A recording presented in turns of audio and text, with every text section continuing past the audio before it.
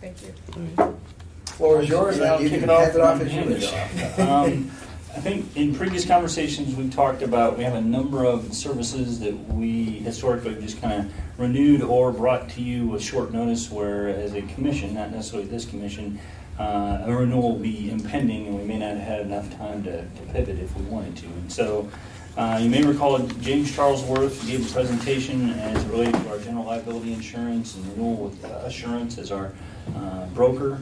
And the intention was to kind of give you an education on that and, and give you an option of whether you want to go to market or what you want to do.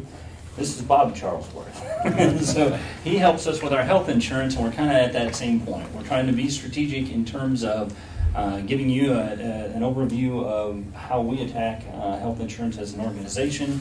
What the, Bob's the expert in terms of what the market uh, looks like and how to take advantage of that. And then at the end of this conversation, we'll talk about options going forward and how you want to proceed. But I have had a chance to review his uh, PowerPoint, uh, and there's a lot of technical acronyms in there that I'm confident he's going to walk us through. And so I'll turn it over to, to Natalie and Bob. Tag, I'm in? Okay. I don't know if you want me to stand or how you want me to. Well, if you could be where that camera can see at least That everyone, yeah, take one of these chairs. Oh, Yeah, fine. all right. You can make it like a fireside chat. just sitting- sitting- That works with me. Works with me. A lot of moving parts. Uh, Thank you again. My name is Bob Charlesworth. I'm Vice President of Charlesworth Consulting. Very creative name. Uh, This is my 35th year. Uh, James, you met earlier, is my younger brother by many years. That's why he's the president. I'm the vice president. Uh, There's a future with him. Um, But what I'm going to talk about today is kind of the working parts of group benefits. So it's a lot of moving parts. Um, Ran this by Natalie. She- It's, again, there's a lot of some acronyms in there. But I kind of just want to walk you through where the city is and what's going on as we see it. Uh, This is a little summary of our firm. Um, James, again, you've met James. He's my younger brother. Uh, Connie does some statistical stuff with subrogation. Uh, She does some subrogation for a lot of our cities. Uh, Peter is a new hire. Peter was an assistant city attorney for a city in Kansas. We hired him in January, Haley just joined us a few months ago. And she kind of corrals us and keeps us in play. But we're officed in downtown Kansas City now. Um, so I take the 30 minute, 30 mile trek every morning. It takes me an hour in each way. So I'd like to be in Salina. Uh, a little bit of understanding. Um, what we're going to talk about today a little bit is fully insured versus self insured. And the city is what we consider self insured. Uh, your claims are your claims. Uh, when you transfer a risk like fully insured programs, you're taking your dollars and transferring it to a carrier to, take that financial risk, good or bad. Uh, obviously, the larger you are, the more predictable you are. Doesn't make you the cheaper one. Uh, I've got groups in Missouri that are 60,000 people. Doesn't make it cheaper. They just makes it more predictable. Uh, it's more actually uh, looking for. But we're, for years, the city has taken the risk assumption philosophy that we're going to handle our own claims, where the size where our claims are us. It looks like us. But we're going to uh, purchase some protection for the worst case scenario. So today, we're funding uh, the program, and we're going to talk about 2020, how it works. We're going to talk a little bit about co- employee contributions and how that plays into it, defined contributions. Uh, that was a big buzzword several years ago. Uh, some wellness activities, that's a big deal now, participation versus outcomes based. Uh, as my dad would say, an outcomes based should have gone done to meddling uh, with people, but it's important to talk about. Community-based plans are a big buzzword today. We'll talk about some of how that works. Associational trusts and pools are available for public entities especially. And then we're going to talk about some marketing direction. Uh, and kind of read what Mike was talking about, we've already got a city's renewal. In a minute, I don't want to preempt it too quickly, but there's time to do something if you want to do something. So we're not pinched today or anything like that. So, uh, and it's pretty solid. But I at least want you to know, we don't wait till the very last minute to get everything. And I'm sorry. Yes. Bob, what, what is PPACA? Okay, uh, I, I just was, yeah, the, that's PACA, that's the patient's, uh, uh, that's the Affordable Care Act. okay. Patient okay, Protection okay, Affordable yeah, Care Act. Okay. And there are fees, and I'll touch on that real quick on the fully insured. Yes, it's actually on the next slide. Um, on the, on the PACA fees, Uh, what this is is that when you're fully insured, you pay that full amount, and that varies every year. And for 2020, that's estimated to be 2.4 percent. It varies, um, and that's on the fully insured premium. So if you have a million dollar premium, you're going to pay 24 thousand dollars in taxes. Now, if you're self-funded, that only applies to The who is the entity? the entity is built into the rates. The insurer has to build that into the rates. For 2019, as we sit here, the federal government said zero. It was wonderful. So we're getting all of our renewals for 1-1, and if you're fully insured, you automatically saw a 2.4% rate increase just because of taxes. Even if you were good, you would see that impact. The year before that was 3.4%. So obviously it can vary, and this is a federal government tax, which helps fund the Affordable Care Act, the insurance exchanges. So, we're, we're, and of course, insurers, they take all the risk if you transfer that risk to them. Again, it's a risk assumption, risk transfer. Uh, they take all the claims, all the appeals, all the fiduciary responsibility. When you self fund, it kind of comes back a little bit onto the city. Um, again, on the PPACA fees, it's only uh, on the stop loss and administration fees. So that 2.4% is going to impact about 15% of your overall cost, much less impact. Um, and then the PCORI, which is the patient center, I'm going to get it all wrong. Uh, it's a research fee uh, that continues and is supposed to continue, I think, for two more years.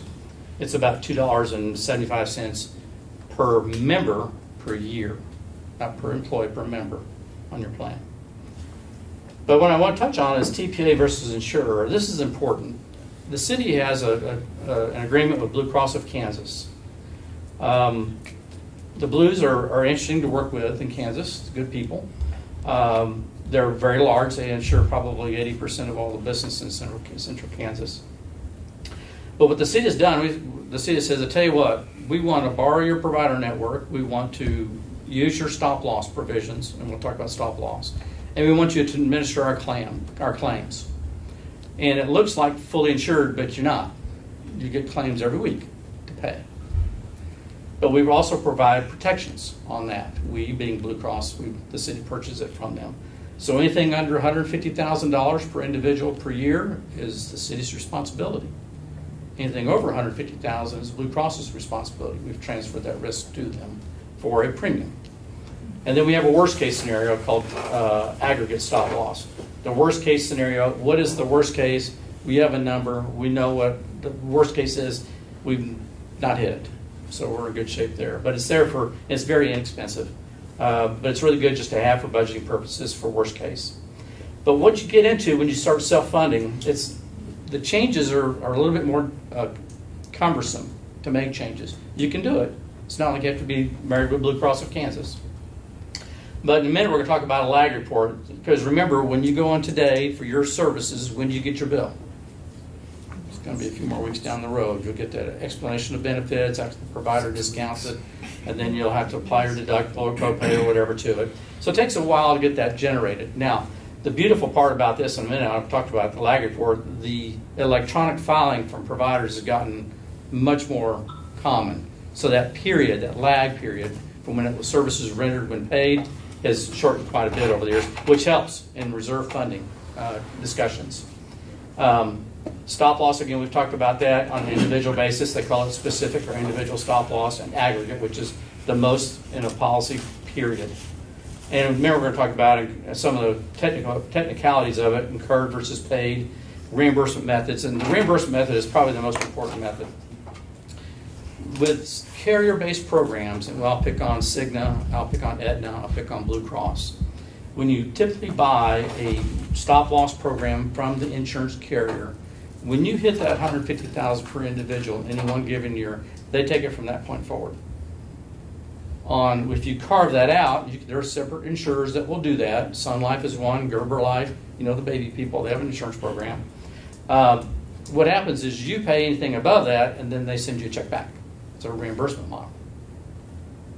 I don't like that because some of these claims can get big, and so therefore I prefer carrier-based model. Doesn't mean you can't, but also carrier-based models typically what they do they call those they call them pooled rated. They pool all their stuff together.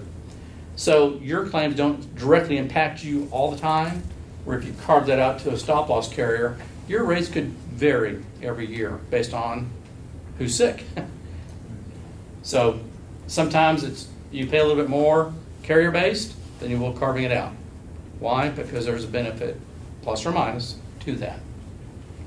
Provider net, networks, uh, the big deal right now is called narrow networks, uh, trying to narrow the, the utilization down. Uh, you may remember years ago called the health maintenance organizations, HMOs. Well, there's affordable care uh, organizations, ACOs that have, that have been developed, accountable care organizations, excuse me, uh, which are trying to narrow network those people down. And of course, there's winners and losers in all provider network discounts. Sometimes a physician gets narrowed down in their reimbursement model. Um, so you have to find out where that sweet house is, or what's realistic and what's not. Uh, last I checked, providers just getting Medicare's payment not stay in business very long. They have to have some other income to be able to afford all, um, keeping their doors open. RX rebates, we're going to talk about it real quickly. Uh, RX probably, that's why I said good, bad, and ugly.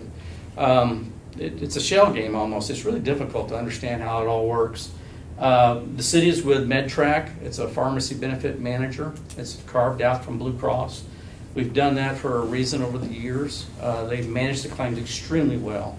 We supplement that with Tria Healthcare, which actually contacts the individuals, make sure they're com- in compliance with their medications. We've seen a very good return on investments on that for the city and their employees. The employees have embraced it. Uh, and then the city also gets some rebates uh, from MedTrak. Of course, the cost of MedTrak is very little money. Why? Because they're still getting part of the rebates. So it's where do you want it? You want all the rebates, and you got to pay more elsewhere for somebody to handle it. And of course, care and case management. Those that have needs, how can we expand that to manage those? Did you say um, that the city does get the Blue Cross Blue Shield negotiated rates? Yes, we do. That's a big plus. It's a big plus. Yeah. Yes, the carrier models have not gotten that aggressive, and then WPPA, they've changed their name now to Doctors, or Doctors, I'm gonna get it wrong, I better not say it. Um, Fine provider network, uh, but the discounts aren't quite what Blue Cross of Kansas discounts are. Uh, This is a kind of a, uh, I don't know what you want to call it, just kind of a snapshot summary. Where's our money go as a city? So I wanted to kind of let you see kind of in the, in the scheme of it all, where we're sitting at from 2/1/2019 to 1/31 of 2020, which is your, the city's contract year. And as you can see, all the little pieces down there, the PACA taxes, about $3,600 a year, not horrible, uh, because some of those fees went away uh, years, a couple years ago. The individual and aggregate stop loss, remember stopping at 150 and uh, aggregate at one third, 130%. The city pays about $600,000 for that currently. It's not cheap. Claims administration, about $211,000 a year for Blue Cross to manage all your claims and about 4000 for MedTrak to manage your pharmacy claims. So collectively, in the green, it's about 10.9% of your overall spend is spent on fixed costs. Things we know we're going to pay out. Somebody to handle it, somebody to help enroll it, somebody to manage claims and pay the claims and provide a stop loss protection.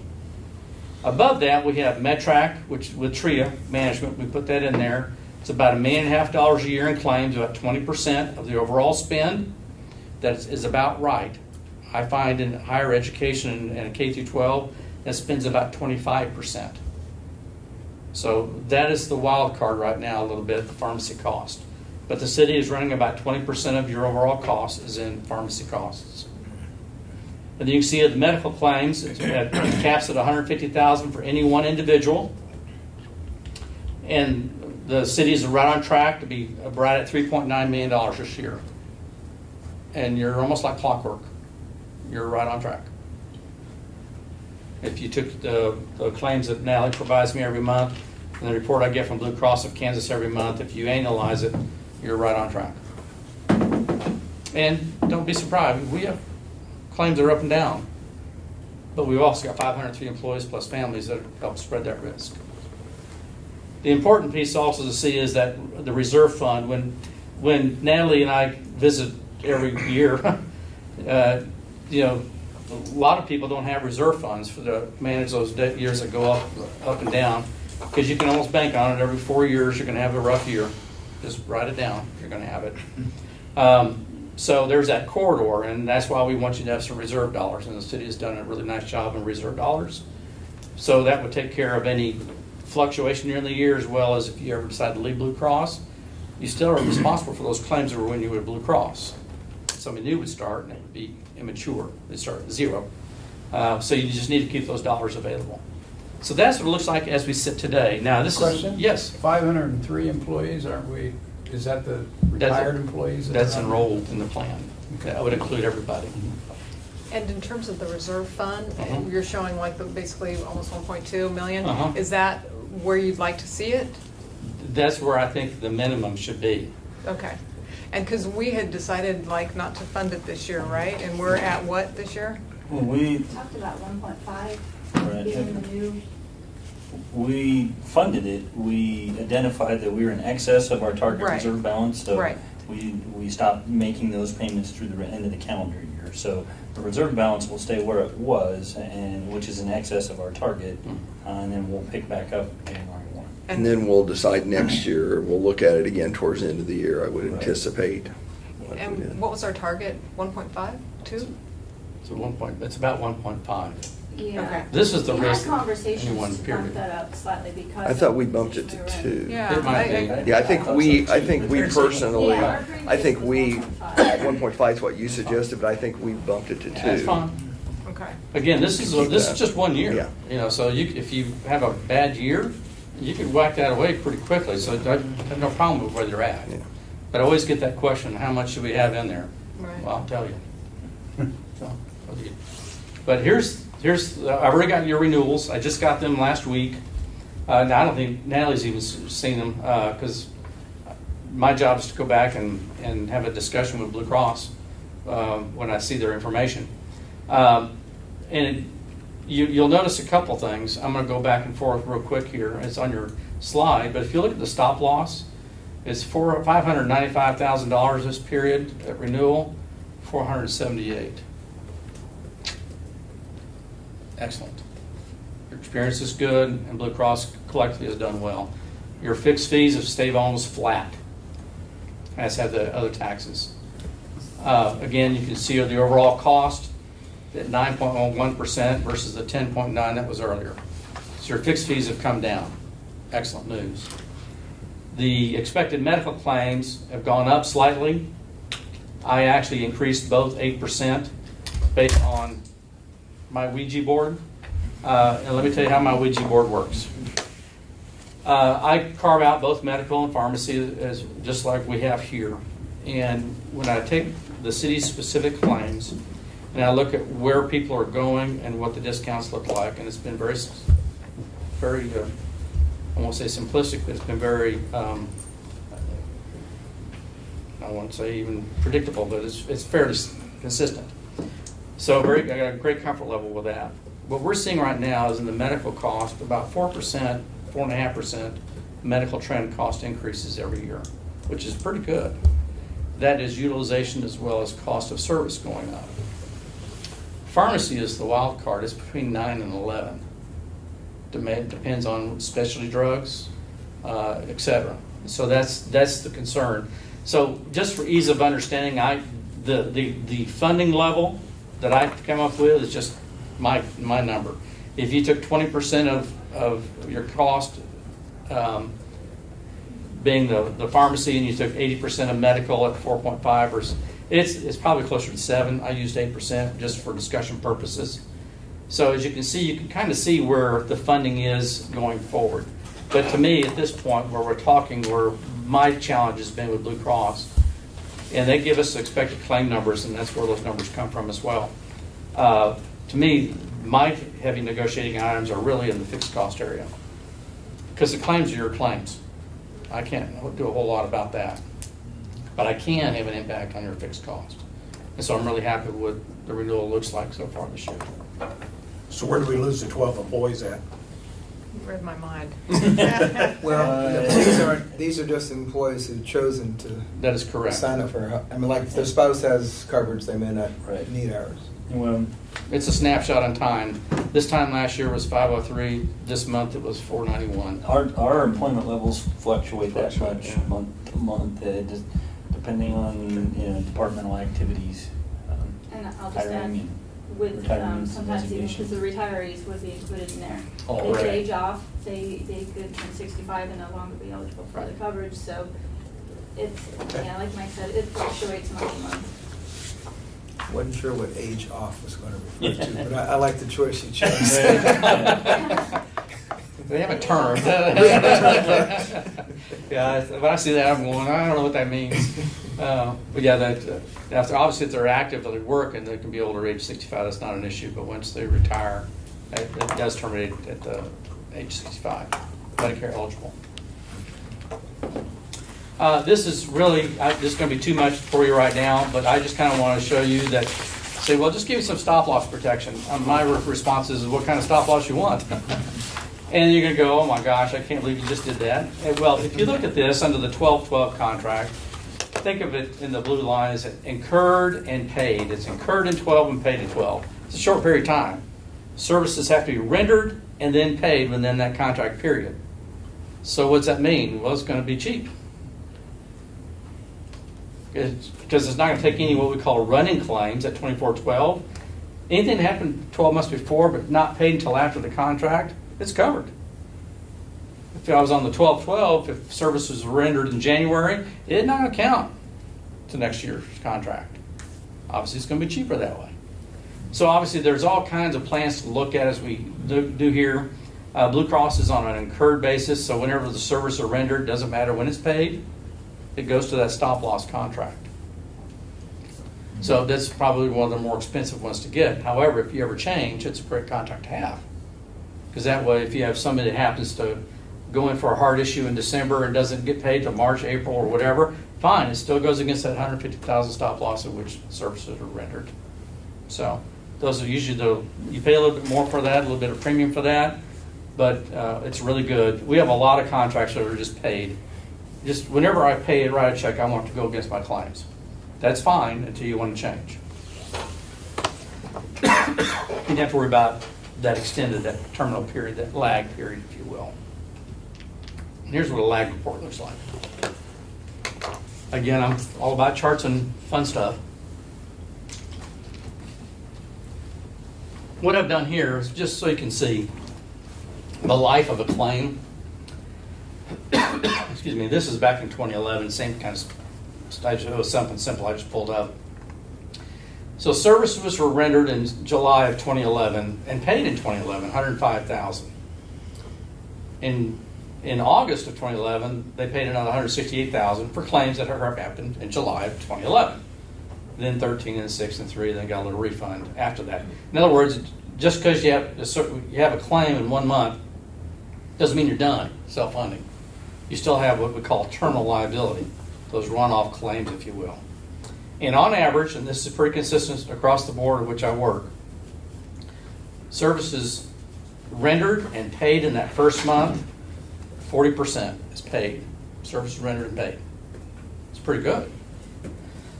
Second month, almost 90% of that is paid. So when we talk about reserve funds and terminal liabilities, you know, well, you have to add all those months up. But after the second or third month, the, the dollars are really small. Now, I've seen some weird ones come in after the fact, six, seven months after the fact. Usually nothing over a year. Anything over a year, I, I uh, challenge.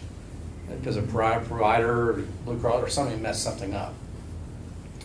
I make them go back to the stop loss if I can get it. But this way you can kind of see when you make changes, it's just not, okay, we're going to go A to A, B. Well, we still have some responsibilities from where we were.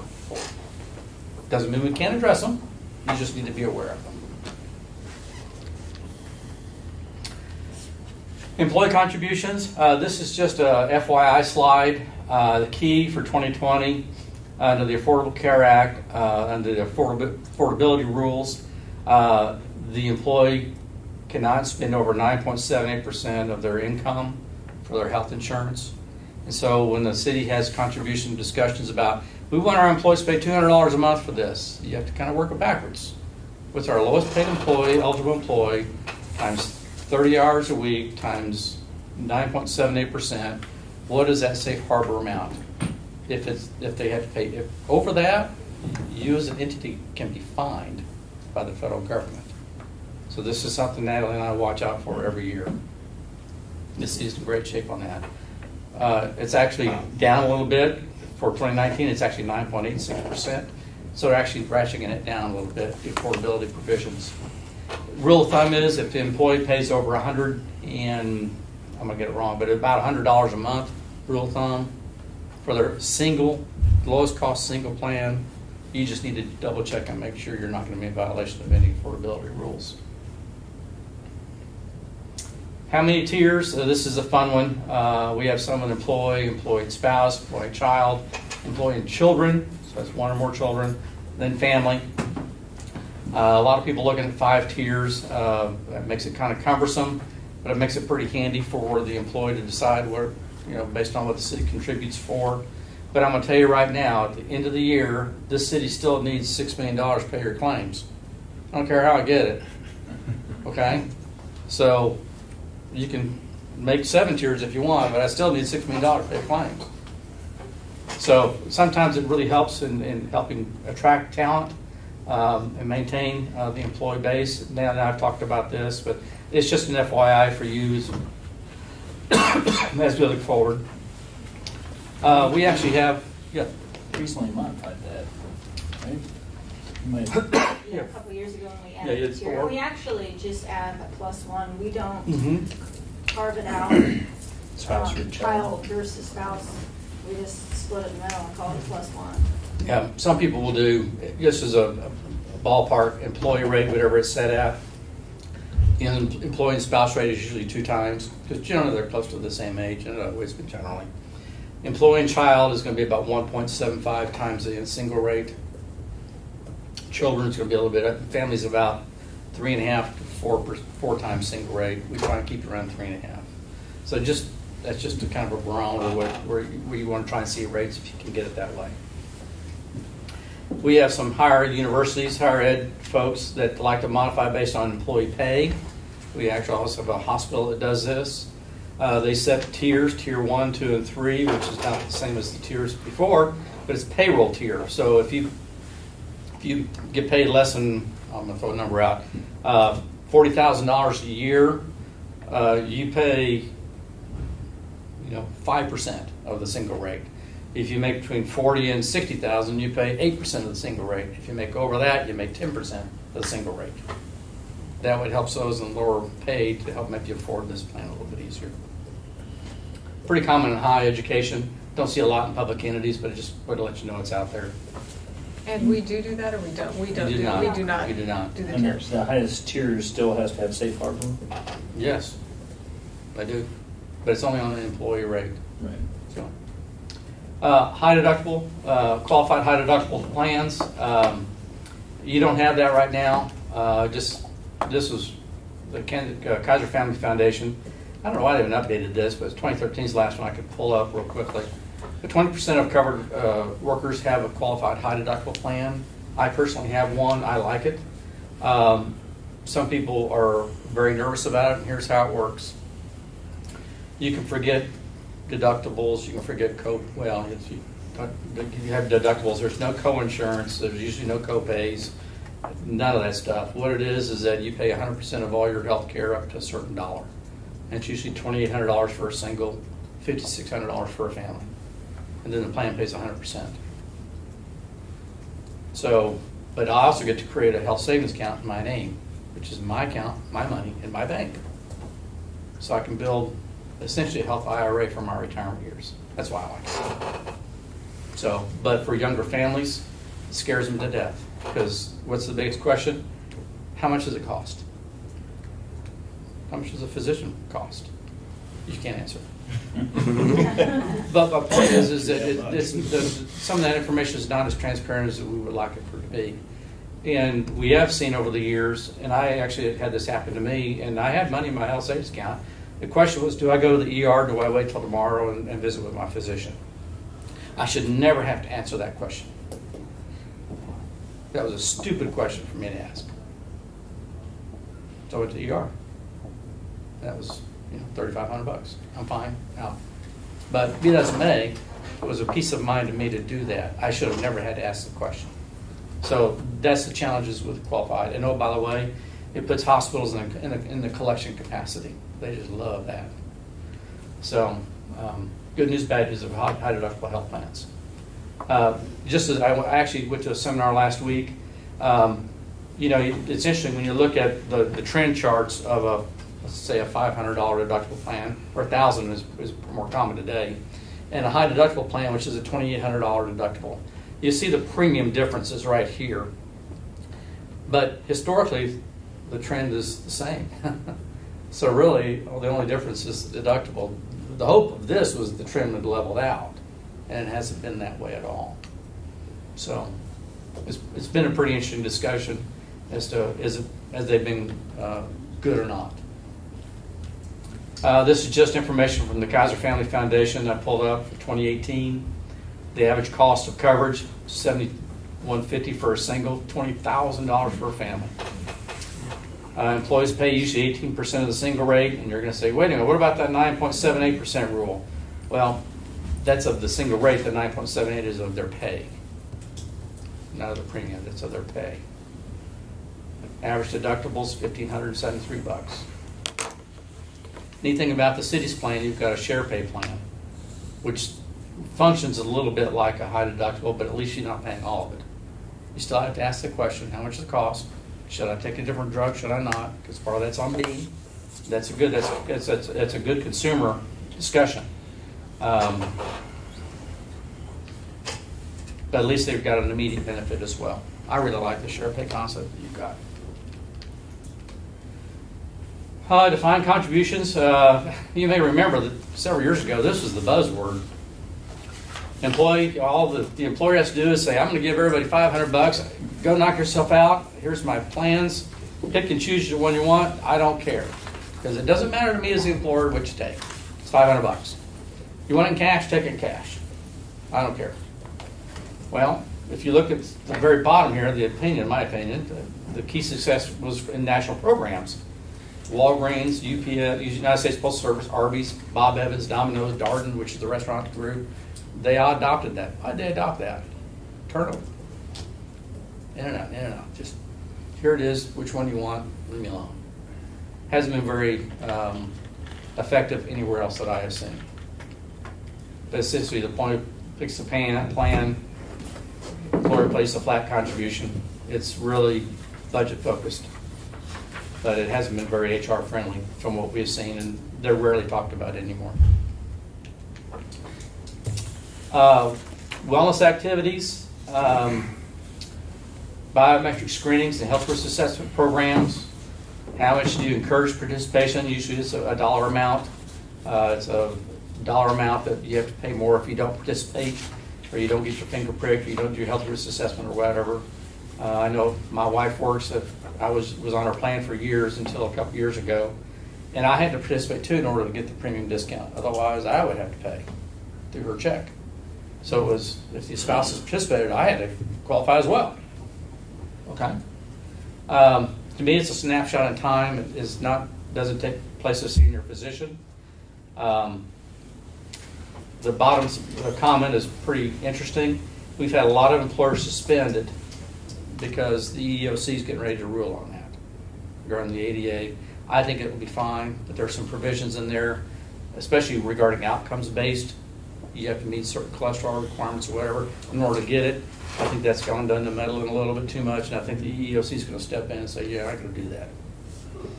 But I think they will continue to allow if you want to do biometric screenings, health risk assessments. We had one school district last year says, you know, we're not doing that anymore. However, to get your premium differential, you've got to see your primary care physician. I don't need the results. I, here's the form. It says I attended and sign. That's it. It's a yes or no. It's a checkbox. Very good encouragement. I kind of like that one. But wellness-based activities are going to be interesting going forward. Uh, community-based plans. This is kind of the, the a lot of discussion points we're starting to see. I work out in Western Kansas a lot too. And you know, the challenge has been and is you know, how about the city and the county and the school and the community college and the hospital all hold hands and sing kumbaya? And you know, I was here probably six, seven years ago. I might be dating myself, and I had a discussion with the city and the county about joining and developing a trust together.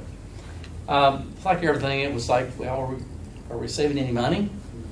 No, you're just kind of making your group bigger, you know, and it kind of takes the decision making away from you and from them. So it was a good discussion to have. Um, hospitals, I think, are going to like it in certain areas because that way they can steer more of their folk there. Well, of course, my response is, well, how much leakage are they really having? And does the hospital provide all the services that are needed for that community already? We had one out in central Missouri that they were trying to get going and never did get going, but the hospital really wanted to play ball because they thought if I can get more utilization here, I can get a I can get a cat lab, I can get a cardiologist on staff. That's how they were thinking. I thought it was pretty brilliant, but they were too close to Kansas City, so we'll just send them to St. Louis. And so it just it didn't quite go like we wanted that discussion to go, but you know, like everything else, we you, when you talk about provider discounts and steerage, who's giving up what? Is the hospital gonna have to give up five percent more discounts to get you to come here? Because you're gonna probably have to modify your plan. Say, hey, if you go to this hospital or this physician, we'll waive your copay. Cool. Somebody's still gonna pay for that service. So I think it can be, have some good discussions to have. Uh, we're starting to see some reference-based pricing models show up. Forget the provider network. We'll negotiate all those discounts for you. You know, they'll, they'll say, well, we're gonna pay all the physicians Medicare plus 180, times 180%. I don't know if that's good or not. You know, it might be great, It- but will the provider accept it? And if the provider doesn't accept it, can they bill my employee for the difference? Yes, because there's no contract. So there's just some things you need to talk about. They have some good uh, reference points. Uh, we have a deal in um, in Oklahoma City. They have outpatient surgery now. Uh, they have a schedule of what they do, and there's the price for it. And oh, by the way, you better bring a check with you. Why? They're not going to file insurance for you. You can file it, but they're not. Kind of like direct primary care physicians, which is really hot in Lawrence right now. Everything goes there. They don't file claims. You pay them fifty bucks per employee per month, or and they'll take care of you, no matter how many visits you have. Kind of like an HMO of old, is it not? The the concierge medicine Mhm. style. Yeah. Yeah, they can have some great uh, outcomes, I think. I really do. Gets people engaged. Um, so it's, it's, it's, it's just an interesting dynamic that we're in today. And where it lands, we don't really know. Um, you know, when you look at some of these, I said probably need to use a TPA, which is a third party administrator. And what that is, there's one great band called uh, BMI. There's another one out there called Freedom as well. Uh, an off, the lady used to work there, started her own. Uh, some in, one in Joplin, one in Springfield, Missouri, uh, some up north. Uh, Meritain's in uh, Kansas City. Maritain happens to be owned by Aetna. Uh, UMR, which has to be owned by United Healthcare. I mean, there's, there's some interesting dilemmas that are going on in our, in our industry. Uh, but you need to have somebody that understands those provider discounts, understands how to pay claims, and your, your employees are comfortable with using them as, as a source when they go see a physician. Um, Again, we talked about steerage to the local hospitals already and what their leakage is to other medical facilities. Uh, Just as an FYI, I was down in southeast Kansas working with a hospital client today still. And we brought a lot of the large employers in town uh, to a meeting with a hospital administrator. And I was able to get some data from the, from the large employers on a confidential basis. Because I'm going, well, hospital, do you, do you give them a cash discounts if they, you know, if they come here? I mean, I don't know. Well, they were getting almost seventy-five percent of all the care already. So, you know, just knock five percent off because you're already getting them? Why would you do that? So, you know, just an interesting discussion to have about that concentric model, the community-based plan. Um, And so we're having those discussions still, but to me, I think a lot of the hospital issues are that we're starting to see it, in not only in ER, but off hours clinic support. If you can find local clinics that'll have extended hours or weekend hours, that's where, where the savings is gonna be in the future, It gets them out of the ER.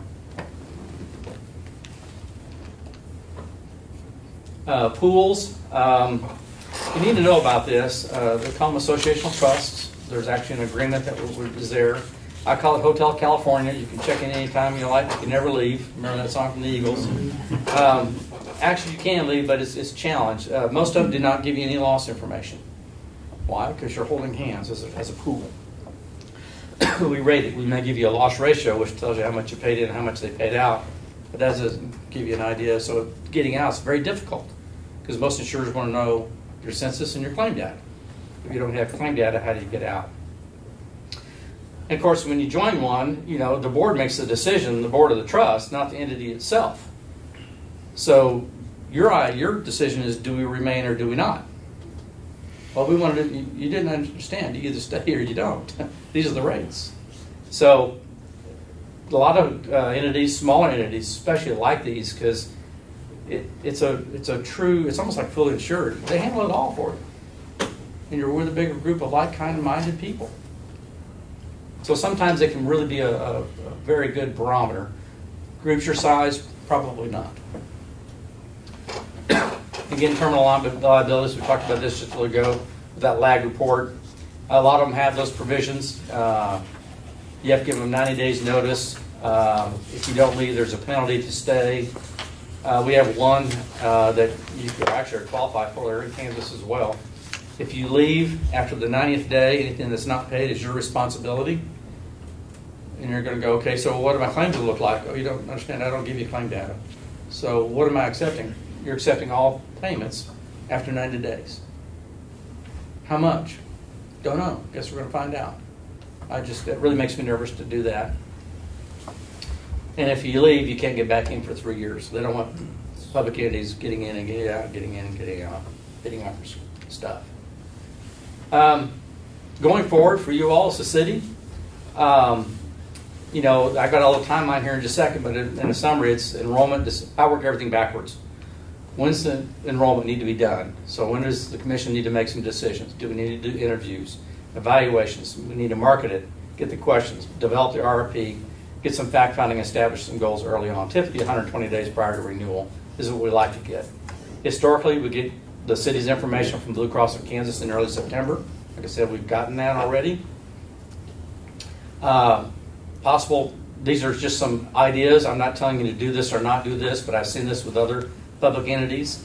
Uh, some say, you know, management, we want you to mark this every five years. It's an annual agreement. Nothing is multi-year. Number one, insurer's not going to give you a multi-year. But number two, you don't need to give them one either. But if it goes, that's why I look at this in September. If it looks ugly, we need to make a decision.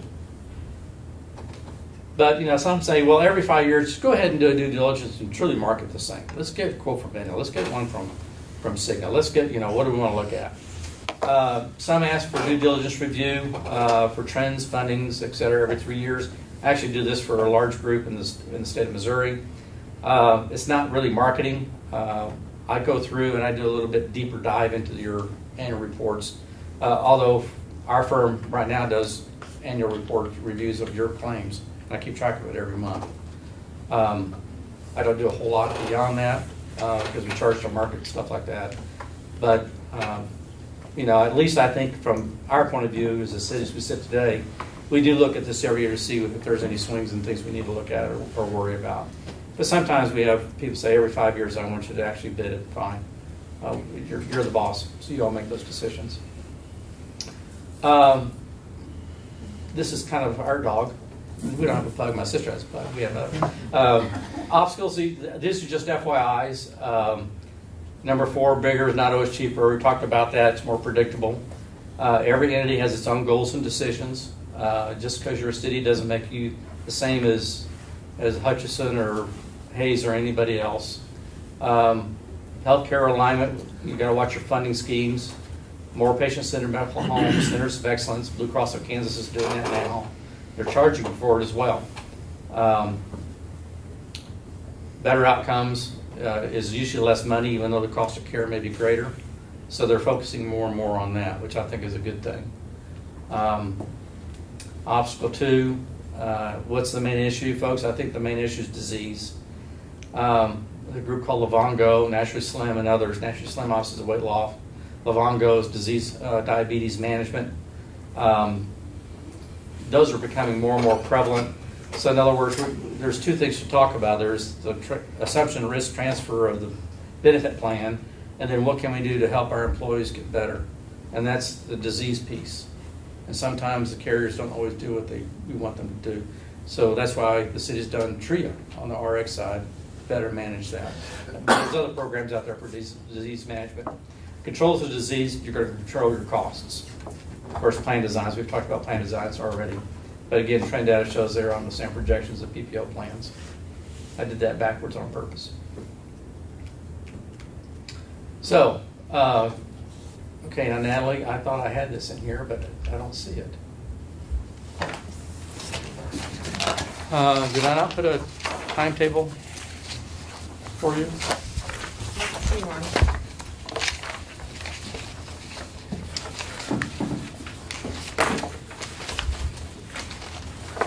I, I did. That one? Okay, it was in the, the one I sent the day after that. I actually have a timetable put together that outlines just what I talked about earlier.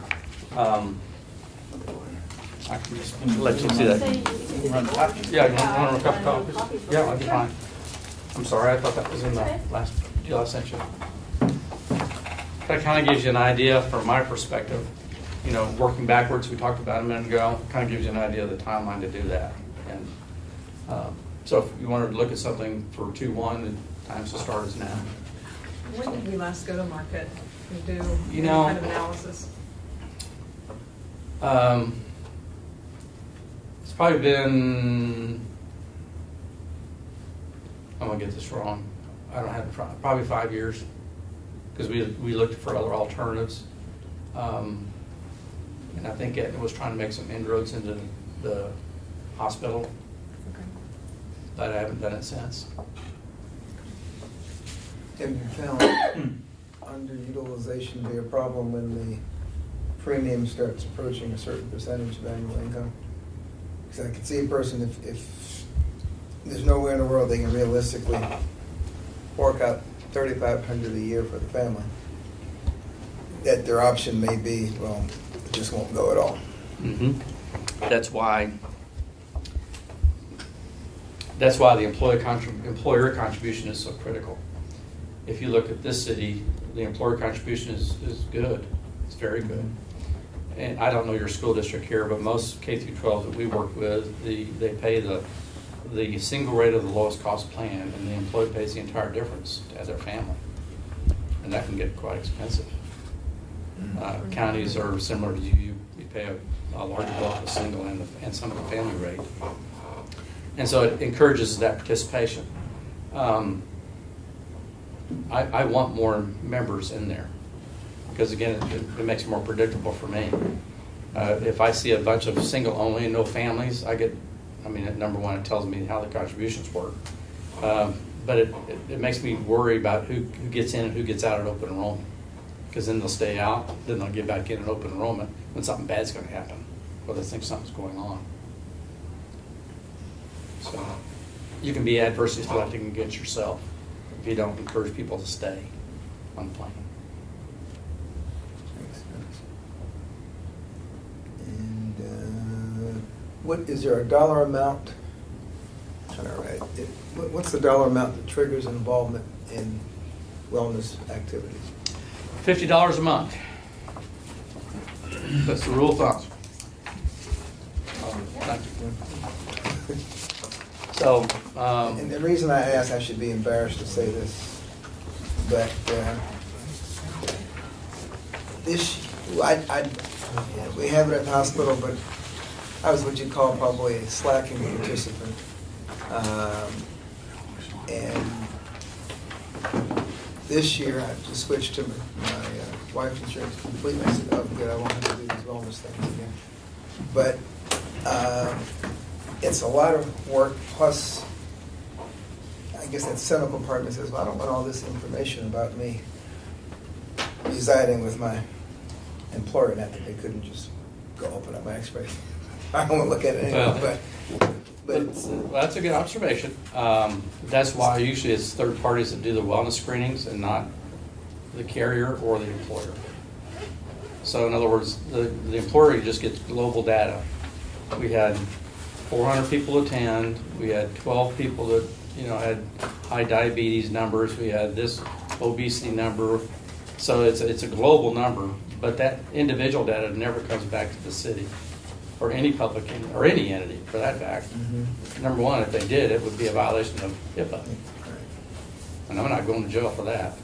Mhm. Um, So that's number one, but yeah, that is, a that's a common concern, and the insurance carrier can't get that information either, because they can't discriminate on who's accepted or not anyway. So it would serve them no purpose, and oh, by the way, the health insurer's already got your claim data. So, you know, it, but even then, they can't, the only time that becomes a concern for me is not for the employee, it's for the employer. When we talked about uh, um, specific stop loss, when you carve that out to a carrier for a, I'm gonna pick on Sun Life, they don't, I'm not meaning to pick on them, and they don't really do this, but uh, a lot of carriers will say, okay, Charlesworth, you've got a heart disease, you've had this, you've had this, you've got pre-cancer here. Instead of 150,000, we're going to laser you at 250,000 for the city. So the city's going to be responsible for the first 250,000. My response is, well, you've had me all this time, and now I'm having a bad, doesn't matter, new contract period. Now, Blue Cross doesn't do that. They pool it. So again, it gets back to sometimes large claims can have an impact on self-funding, depending on how you carve that out. So, but yeah, individual information on large claims, they'll ask for notes regarding that for the underwriter, which they can under a business associate agreement, because it impacts the pricing of the model. So yeah, that information can be found, but usually it's all encrypted. I don't get names. I never get a name. I've seen the pharmacy program work, uh, not so with this Mhm. one, but with ones that come in through the office. And A lot of the suggestions are, are good. Sometimes you can tell a computer probably generated the question and Probably. it didn't quite understand why it was using the medication. I would say those probably are worth their cost. I think they are. To me, it's about understanding and make sure everybody's on the same page. Do the Um, wellness, is there data to prove that the wellness programs, That data has proved that the ROI is, I think, three to one on that program, what the city does. It's quite good. Uh, Now, of course, you gotta, and I don't, I don't look at ROI as being absenteeism or presenteeism or any of that other stuff. I look at pure dollars. Based on this, they were available, they were able to not get into this category, which based on your claims is three thousand dollars an episode. So we're able to, because of this, we saved this. So it is specific to the city. Good. Yeah, it's not some global number out there. Mm-hmm. Yeah, that one's worked out well. And it's some work on the city, and it's some work on the employees' part. But yeah, the, they will have that, that discussion with their physician, which is what we want.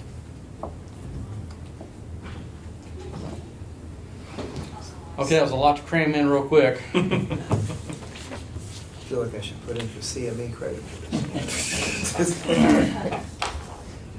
Trying to cut off questions prematurely.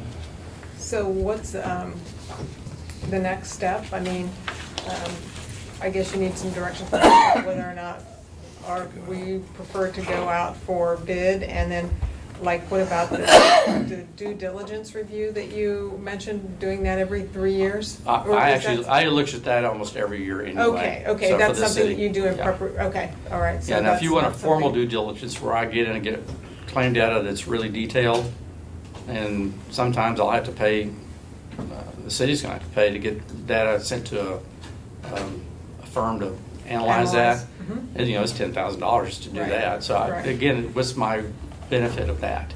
Right, I think Blue Cross gives me enough information to see where we're going, what we're looking at. Okay. There's a few things I still want to know this year from Blue Cross. Uh, I, I tell you right now, I think the fixed cost they've provided is very good. mhm, I have no problem with it whatsoever for one one of, or two one of 2020. I'm perfectly happy with it personally. right, Um, I think I want to look at, uh, the pharmacy's doing well. I want to look at their contracts a little bit deeper this next year, actually before the renewal. And I can do that this month. It's nothing that takes your, your time. Uh, we may want to talk about where the rebates are more specifically. We want to talk about which formulary we're going to look at regarding use of drugs. that really isn't an impact on the commissioners here. But I think it's part of my job to, are we getting the, the right program for your employees and the city? Make sure we're controlling our cost. Do we automatically renew with Blue Cross if we don't Well, do anything? Yeah, in all honesty, what I wanted to avoid is to come to you with, we need, we need your authorization to renew, and you really don't have ano- another option but to renew, or we'd be out of coverage. So I'm trying to, to identify that date and that time and this timeline to at least allow you that option. But um, now, or very shortly hereafter would be the, the time to decide whether we're gonna go to market or whether we're gonna prep and negotiate for renewal of Blue Cross Blue Shield. And there's nothing on the horizon that's gonna juggle our. Not that I've seen right area now. That that may juggle parameters. If the hospital comes up with a creative idea, I'd like to hear about it. Um, But as I sit here today, I haven't seen anything that says, this is where you really have to go right now as a city. I'm not saying that. Do companies like Blue Cross tend to come back with a better offer when they know they're competing, or figure, You know- well, it's a level playing field for all of us, let's see if we can't float everybody's boat up? We've been customers a long time. that- That's a good question. Um, We work with Blue Cross, uh, let me put it this way, Blue Cross tolerates me. Um, I don't get commissions. I don't care if you stay with them or not. Um, so, you know, my issue is, are you providing the best for my client? And I work with a lot of other different reps across the state, so I see other public entities as well as the city of Salina. So I have an idea what to expect from them. Um, Their actuaries insulted me more than once, and I'm perfectly fine with that. Um, So, but we're usually pretty close at the end of the day. Um, The question is, are they providing the services that the city needs or not, and your employees need or not? And to me, that's probably the biggest question. And then they've had some changes regarding their uh, patient-centered medical home programs. Uh, That was kind of a, uh, an added cost to the city. Well, I want to see those results. Well, they're just implemented, so I haven't seen results yet. But, you know, if we get these in September, I like the idea of getting the numbers in September, early September. And that way we can have this discussion every year. This looks ugly. Well, let's find out what else is out there. I like that approach personally, but every five, I don't care, you- you're the boss. Um, that's usually not within my normal scope of duties for the city. There's usually a separate cost for me to do that. So basically, you're, you're comfortable with our fixed costs. In fact, part of it came down, if we go back to that one screen. As far as what's best for the employee, the negotiated rates with Blue Cross Blue Shield are usually, you know, fairly advantageous, I would say, for the employee. Are any of the other companies that you represent, or that you would have, do they come close to that, or? as far Oh, they'll, ne- they'll all be fairly close. They'll all be fairly close on the Uh-huh. negotiated rates? Yeah. We're finding, um, the last I did a deep dig, dig down, and I could be off today, but uh, the other provider discounts are fairly comparable to Blue Cross of Kansas. I don't see any that are less than. Doesn't mean they can't meet it. Uh, I think if you did more direct contracting or, or maybe some of the, uh, uh, reference-based pricing models, you might be able to beat their pricing, but then you're gonna have disruption on the other end with your employees. So to me, it's, it's, it's almost a teeter-totter balance effect at that point. I guess this would be a question for Natalie. How do you feel our employees feel about their current health care coverage? Um, You know, I don't hear from a lot of them. Jennifer probably hears more than I do, but when individuals have been in a circumstance to need it, that's when they are definitely recognizing the value and the benefit. Um, So I guess it's a good thing that they can take it for granted that it's there to cover them. But, I mean, in terms of claims not being covered or having major issues, we don't have a lot of that at all. It's, uh, you know, in terms of Jennifer, if she has anything to add, because she handles it, she's our benefits coordinator. Um, but rarely do, does it get to me because it isn't something that's easily resolved. I would agree with that. They're used to things being taken care of with very little hassle. And then the few things we run across are resolved quickly, normally. So yeah, they Yep, We probably haven't had the situation here for a while since we've been with the same Blue Cross, but in a self-insured model, if the insurer changes, are there rules for preventing pre- prior condition exclusions? There will be no pre-existing issues on a takeover, no. That's, Now, doesn't mean a new carrier would not try a laser somebody on their stop loss that will impact the city funding.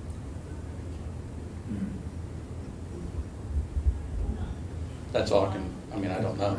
We'd have to provide, we have to provide a census data, we have to, which will apply, which say we can get average age and stuff like that.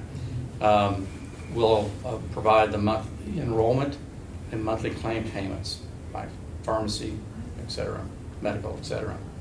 And then we um, provide any large claims, usually over half the amount of your stop loss.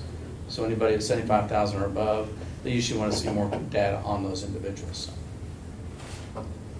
And then that will determine how they quote, or if they quote. They're not required to quote, to my knowledge, not.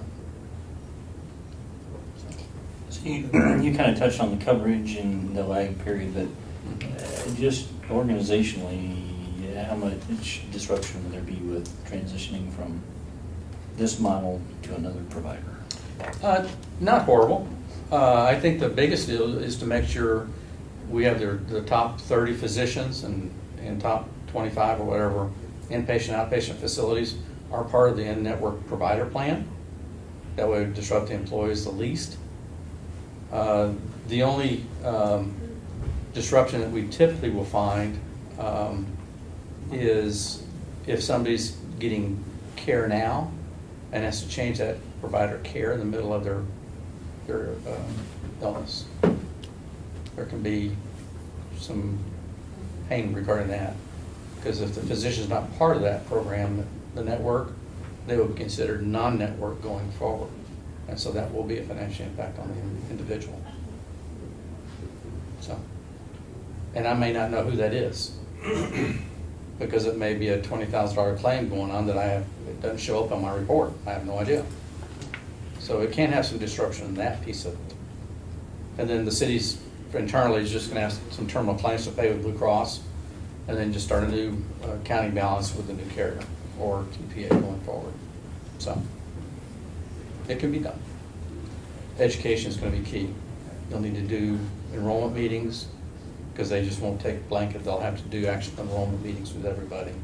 Make sure they select what they need, get all that data correct, and enter into the system. That way, that way the enrollment takes the most amount of time to make sure it's done right. They get their plan book, they get their ID card before the renewal, that's the most important. so is it possible to find or estimate how many employees, physicians would become out-of-network providers for any of, say, three possible plans? Well, I could Is that probably, a- I could do that, I could do that for if you would like. I could pull up. If, if we decided to. Mhm, Oh, absolutely, yeah. Yeah, when we put the information together, we always provide the top twenty-five or fifty providers, as well as the top twenty-five or fifty drugs, to make sure that they're within their formulary and that they're within their provider network. That way it's very clear. And we usually have the enrollee, uh, the, uh, the member count, I mean, uh, employees have been impacted or have gone to that physician or hospital.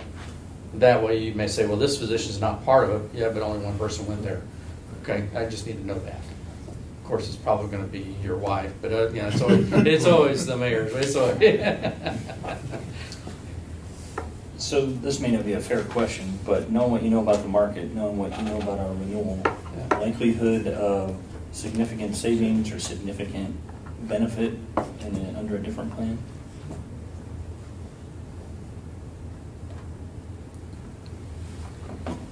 I say benefit, significant perceived improvement from this plan to, I, I think Blue Cross of Kansas is starting to wake up. I think they're starting to show better care and case management than they ever have before.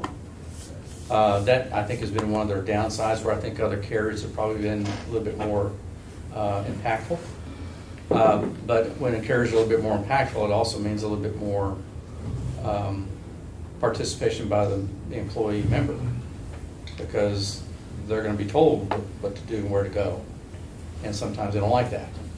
So, you know, so- sometimes if you, I don't wanna say that there aren't, I think, you know, both Cigna and Aetna and UHC, UHC is an extremely strong insurer, uh, but they can be a little cumbersome to work with.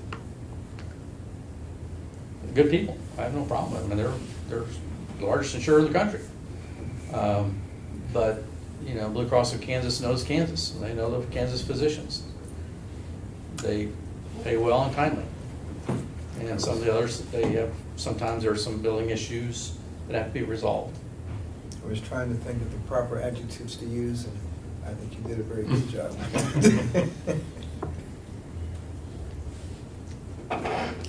My feeling is if it, if it isn't broken, if there's not, you can't identify significant either savings on our end or, or better coverage for our employees. And are, are you satisfied with working with Blue Cross Blue Shield? I mean, have they been Very responsive? good, yes, they Yeah, are. I miss my Blue Cross Blue Shield coverage. So, I, I do have a concern just about the perceived disruption Yeah. for the employees. I mean, it- You know, if we, if pricing was bad and, and, and granted, we're looking for savings for budget purposes, but uh, this isn't, uh, we're not experiencing a bad renewal that justifies, um, Yeah, if I was, change. if I was seeing a- an issue that wanted me to go out and, and get other bids and, and check out, I guess, but I'd have to see something really, really significant to make a change because of, like you say, the disruption, not only to staff, but also to, to the insured, I think would be, we'd have to have something really, really significant. And, and I'm repeating myself, but our employees pay attention. It'll be perceived disruption Yeah.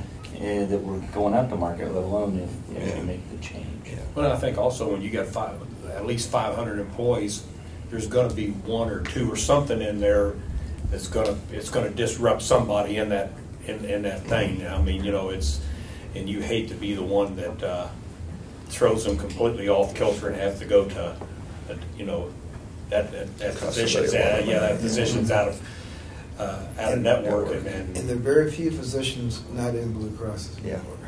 Very few. And, I mean, but that being said, you know, I think, like I said, Blue Cross is getting better.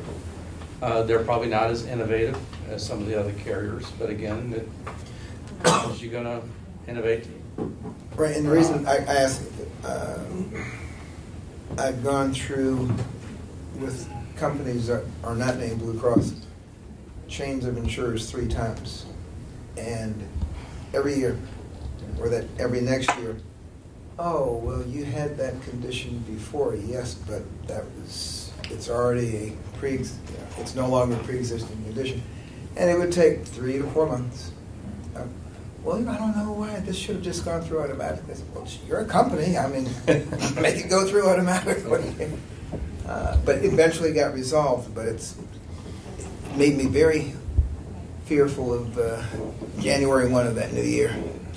Well, you Don't know, what's interesting, and, and, and I think Natalie keeps a ear on it, because I send her stuff every now and then, and she's more, she's very active in SHRM, the, the um, HR uh, society. But, you know, this is a moving target. And, you know, we keep our ear to the stone and says, you know, what's going on out here?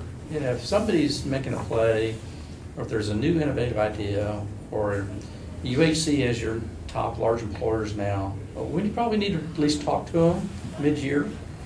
Excuse me, and just, why did they pick you? What's going on that makes? I'd rather have that discussion mid-year before we even think about coming to you and says, you know what? We probably need to market this this year. I'd rather have that information before I come up here to say that. But I think this next year is gonna be an interesting year for us to see what's going on in this landscape. I just don't want that reserve fund to get too low because all you need is one bad West Nile outbreak or disease unknown to, right? Because then, you know, twenty sick people at hundred fifty thousand each cost you a lot of money. And uh, what our benefit dates, they're, they start on February first? And I, I mean, I guess I was just curious as to why they don't start on January first. Is that just the way it's always been done? From what I can tell, at I'm seeing least smiles, yeah. fifty to twenty years. Okay. And I don't know if it was just something to give the providers a break because so many companies are at um, a one-one renewal, but I really couldn't Okay. tell you the rationale. That's Blue just Cross Blue uh, Shield's two one also. speculation. Well, in my wife's Is it Blue really? Cross is March, but it's great for physicians. Mhm. I mean, as, in, from the business side, because otherwise January is the month you make no money because everybody's in deductible. It's nice to have some folks who don't start that new year until March or April. Uh, No, seriously, that's, I think yeah, your that- benefit that's year's still definitely a January, is thing. it not? In our benefit year calendar year as well, or not? Oh, it's No, not? we're two one. Okay. I knew our contract's two one, but is our benefit year two one to two one? Never mind, I stand corrected. Well, the last thing I wanted to do is come to you with a renewal, and Yeah. now's the Appreciate it. time, Yeah. and when you say, well, let's go to market, and we have to tell you, uh, we Too can't. late. So, wanted to have this conversation preliminarily, I, I agree, um, based on the renewal rates and the satisfaction. I, I would tell you, you know, we try to put out, um, a benefit statement to let our employees get a full understanding of what we provide them with, their retirement and health insurance. And- and I get more feedback from people outside of our organization, a great plan that we have, than, than I do inside the organization. Until something comes up and someone has reason to really take advantage of it. It's three forty-five and, uh, We'll be Thank you for diligent coming. going forward though as as well. Appreciate it. Thank you. Thank you. I think we all learned some new abbreviations today. Oh, boy, Appreciate love that. It is three forty-five. I guess public and employees can feel free to bring something up if they wish. Open, open for it. I will, I guess. okay. Yeah, I mean, since Charles was here, it's nice to see what's out there. Are there other organizations that have wealth, health and wellness type incentives for employees that are possible for a city like ours? I used to work over in Park and they did have them back then and I loved them. But We have not had those here and for, for good reason, but I don't know if that's a possibility for us or not. The other ones in Salina, Yeah, I- yeah, yeah. the hospital has Yeah. a a huge You do? program. Okay. Yeah. Well, and, and we just, I didn't know if they, if that's possible for our city or not. We, you know, they have tobacco cessation programs and if you went and got your blood drawn, you know, and you, you were, saw your provider once a year or, it- those were, ever, they made sense to me. So, I mean, whether you wanted to do them or not was your choice, but they made sense that, yeah, if you did that, you got a break. And it was very nice. So I don't know if that's a possibility for us. We brainstormed some of that. Now, you might speak to what we've done and what we've seen in terms of participation in the health and wellness fair. Okay, yeah, I'll back it up. I'm trying to think, the last time we brought an on-site fair was probably maybe at least seven years ago. and- Oh my gosh, really? Been a while. Yeah. um, We did it for two to three years. We brought that on-site and we provided incentives both for the employee as well as the spouse. The Spouse were covered. Um, We offered gift cards, chamber bucks, just for coming and completing it, and we struggled with participation. Um, We were in the twenty percent range. Um, And our concern was we were putting a big investment into providing the time for all of the, um, the ComCare providers to be here to do the fair, and we did it multiple days. And we just weren't getting enough data back to make informed decisions on what our incentives should be or what we should be focusing on going forward. Um, After that, we tried a number of different, um, activities, kind of a full menu individuals could select from and log in and note what they did to achieve their points on a quarterly basis, and we provided, um, Jennifer, help me out, with those chamber bucks, or were those Uh, discounted premiums, or we tried both? We did the rebate and premium Okay. quarterly. Um, Decent participation there. Um, Not really a way to gauge if it was effective. We struggled with individuals logging in there and miraculously, the first day of the month, they'd done all their activities for all 30, 31 days. Um, Anything to add on that? You know that. Okay. And then really our shift after that was more along TRIA, just the investment there, kind of a different type of wellness. Um, we've, we've offered some different incentives, but not a comprehensive program or uh, rebate premiums or other large incentives since that time. Um, we've had different type of lunch and learns, educational providers come in addressing sleep, um, stress, diet, trying to think of some of the other topics. Um, Nutrition, exercise. yeah, we've looked at doing more of that. Um, Actually have a couple of individuals that want to come in and talk to me about some potential opportunities. And then I did talk, um, what was the SLIM program? Naturally Slim. Slim. We've taken a look at that and we, this is probably in the last thirty days that I've seen a small presentation on that. Um, Really more of the coaching and um, support for individuals seeking weight loss or health improvement from that facet, um, and we could incentivize that. So there are some opportunities, but we really haven't, I guess our, our biggest return has been on the TRIA program, a different area of wellness where we have data and we can see where we're making an impact. Um, Didn't, um, didn't you mention something about even being able to make a, a, a simple incentive like a, a primary care provider um, yearly checkup and providing a certain discount on that? I mean, I'm just wondering if maybe rather than, you know, trying to bite off like a huge new program implementation, that maybe there are, you know, one or two small steps that we could at least start out with that and see how, how people respond. If, you know, if you can bring us this form signed by your physician's office, then that'll get you, in, in, you know, so many dollars off either one time on a premium or this month, or this much with every, every premium to just kind of start incentivizing people to th- start thinking proactively as opposed to reactively. Um, and Pre- I Premium reduction is a very Mhm. effective uh, carrot to dangle. Yeah, absolutely. I failed to mention one that we have going on right now that we started probably about 60 days ago, and it's offered through Blue Cross, so there's very low administration, but either um, weight loss or stress management. It's counseling and coaching that's offered via telephone, um, completely optional. We don't have any information other than if someone gets a certificate that says they've completed it, they bring it in and we provide some chamber certificates.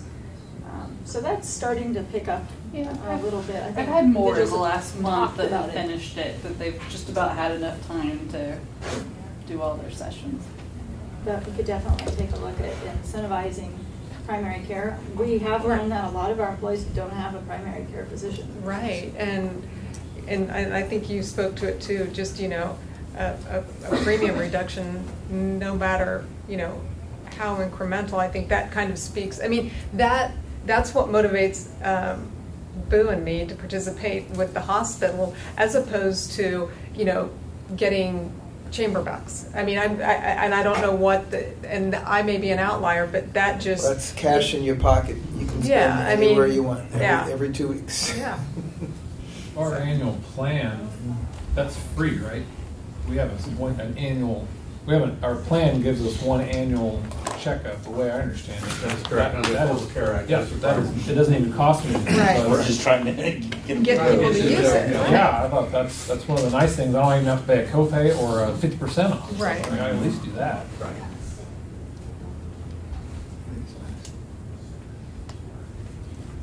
Well, Thank you. Thank you for having me. Well, if you're in town long, go out and see the International Aerobatics. Actually, I'll be here again on Friday, so. It's amazing what you can do in a thousand meter square box. I'm very familiar with it.